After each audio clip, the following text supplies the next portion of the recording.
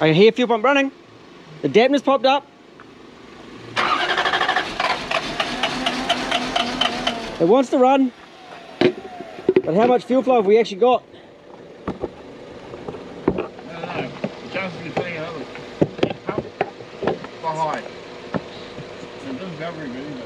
No, it smells like crap. Whatever's been in it, it's like treacle now. Just, you've got the key off. Just leave the key off for a moment. Yep, turn the key on.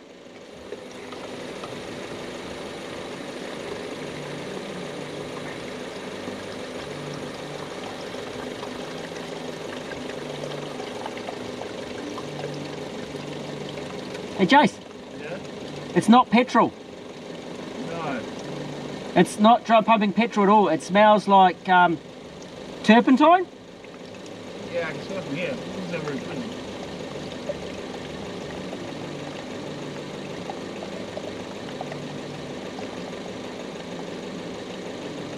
and it's all frothy and bubbly. Okay. Uh, We're not going to run on that, eh? no, I don't think uh, I don't think it's going to run on that at all. Oh, fuck. You can't, you can't have the camera doesn't smell of it. No, no smell of vision, but that, that stuff, I can smell it from here and it doesn't, it's not pleasant. no. I bet you it does catch fire, but I bet you it's not very nice. Okay, get some flames. So this one was generating enough pressure to pop the dampener up, but it wasn't flowing enough fuel, and the fuel was, you can see in there that it is absolute crap. It is absolutely disgusting. So that's a surefire thing that it isn't going to run like it should. That's well past it. So,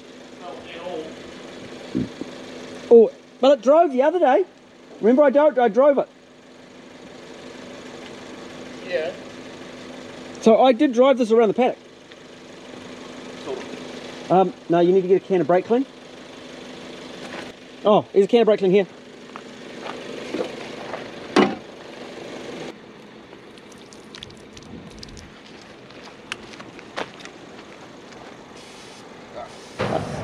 You want to stand um, on the other side? On yeah, on that side. Yeah, good idea. Yeah. That, that's better. Yeah, that's less likely to hurt if it gets you.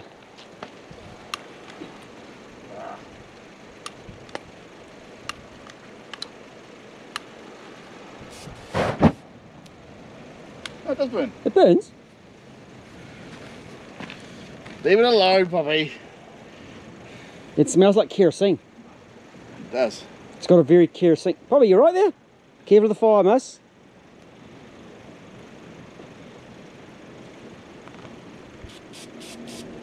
Yeah, it's it's going this way.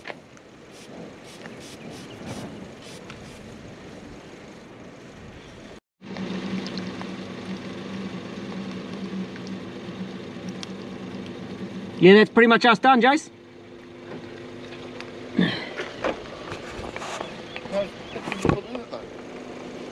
Yeah, not enough. It's sitting on the tank, must be sitting on the side too, so. You get some more gas? No. Oh, I'm gonna, gonna put a, I'm gonna put a brand new pump in it. So I've got the proper sender unit. That shit, it does make good weed killer though. Makes good weed killer. So I'm gonna get the proper sender, because someone had been in there of course. Let's bring the, a brand new fuel pump in it and get some new fuel going in it. So I've got a little uh, low pressure pump. I'm just using that to try and pump out as much of the crap out of this tank as I can. And then I went down to my other Soarer because I happen to have more than one and I rated the fuel pump cradle out of it.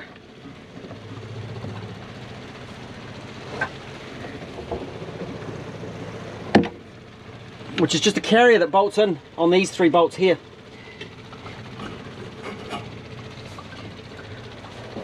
So that's the original pump. It's got the small terminals on it, little terminals, 38 millimeter. And there's my replacement.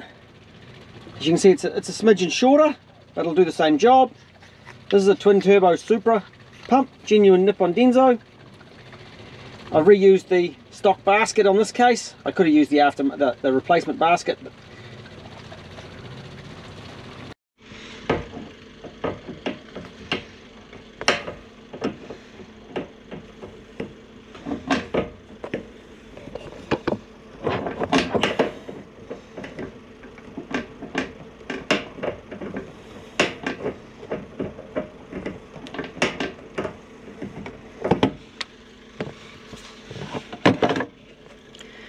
Pump set back in place, put your hose clamps back on and do up the three nuts. Pop the lid back on.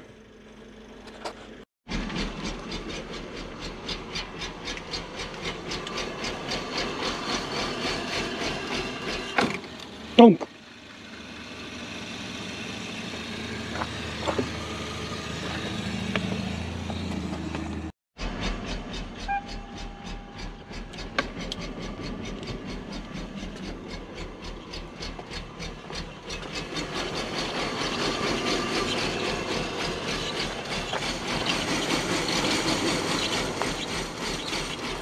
Well, it actually runs. So we'll step forward again.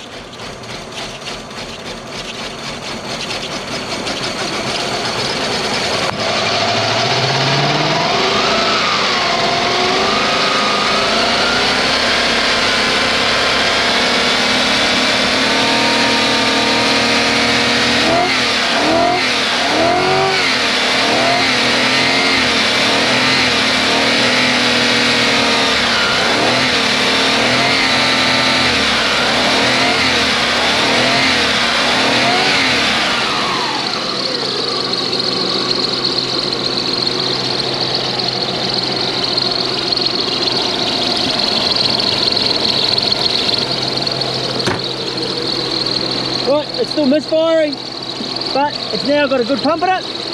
And of course, make sure you change your fuel filter.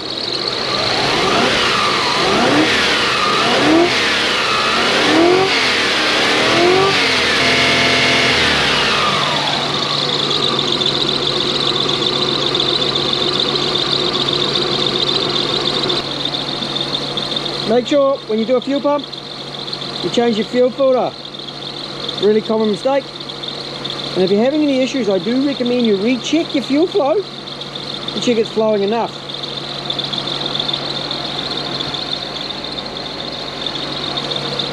Hey, Bobby. Okay.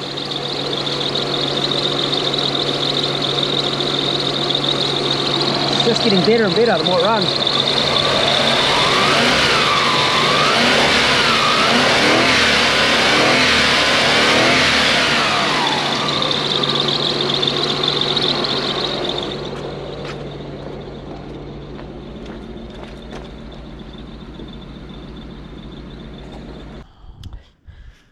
Right guys, so this is the, the old Soarer. It's non-traction. Uh, body kit's gone.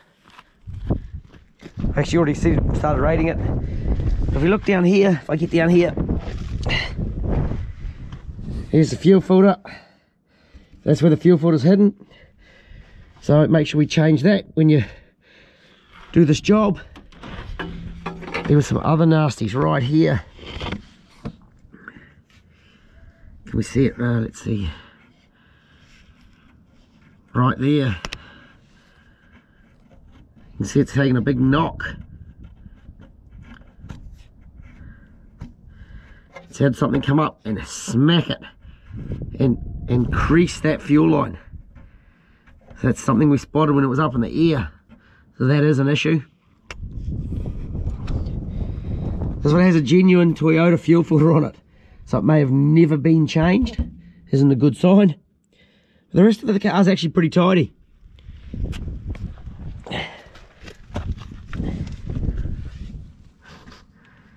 You see we just slammed some shocks on that, that shock is leaking. I just got some, um, we put some Apexi lowered springs that I just happened to have lying around because we needed the, the springs, standard springs for Aaron's Soarer, which is another video. Really, really tidy Soarer. So I've sort of made the plan of tearing this one to bits and using it to fix number three.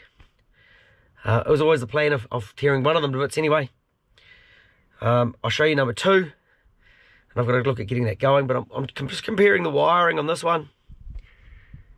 Um, and it's a non-traction control, and seeing if number three, my better one, that is still legal or still has live plates, um, is a non-traction. So I'm looking in here, and it has one, two body plugs there, and it's got three tucked over the back. Let's go check the other one out. So this is number two. It's got a really tidy interior. I have never heard it run. This is number three.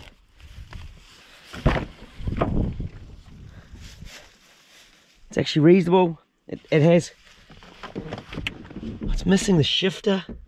Oh, there's a shifter in the back. So it's kind of been rated for parts.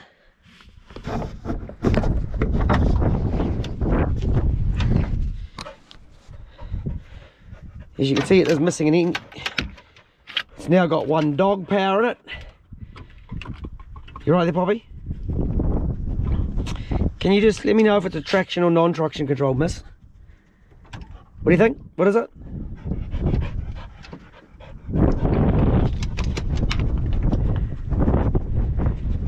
Okay, can you get out, please? Poppy, get out. Get out. I think we're in luck. One, two, three, four, five. We are in luck. I'm in luck. So this one, I think can be fixed. Awesome. This is how this one now starts. Ooh. Yeah, boy. It's a goodie.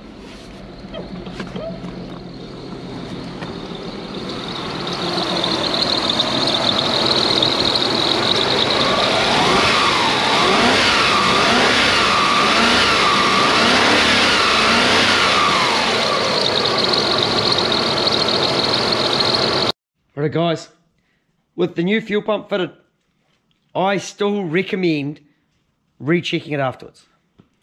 And this may sound funny, but I showed you that crimp fuel line. And I haven't changed the fuel filter because this car is going to come apart. So that'll be done when it goes into the new car. So this is why I recommend rechecking afterwards. It also checks for things like voltage problems and all the other little bits and pieces that can go wrong with a fuel pump, even though the fuel pump is new, or that can affect the fuel pump's performance. So let's check this one. It's real, real easy. I'm not even going to start it, but normally you would do it by turning the key on and checking and running it. Let's have a look. All right, so I've got my container. I've got my return line off, and I'm just going to bridge the diagnostic box. And look at that fuel flow. And of course, I would time that and in 30 seconds I would want to get a litre of fuel. Uh, that would give us 120 litres an hour, and that is a minimum that I want. I can see that that's plenty, that's doing us what it's want. So in that time, I got a litre. It wasn't 30 seconds. That's flowing plenty. And I know the engine runs well now. And a fuel flow check like this is a really, really good place to start. Even if you think your fuel system is good because it ticks it off the list. Real simple. And you see that fuel flow check took me just, just moments.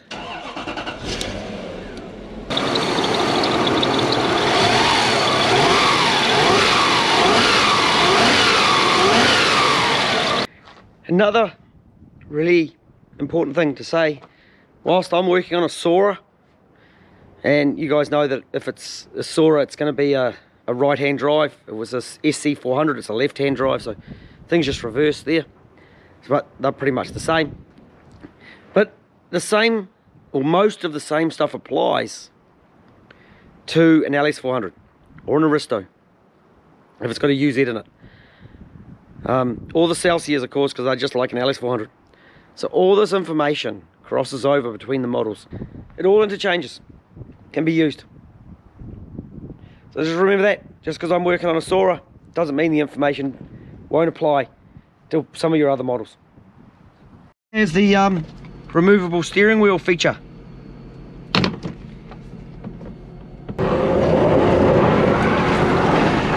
Kind of made up my mind with this one that it is going to come apart. I'm going to use it to fix my other one.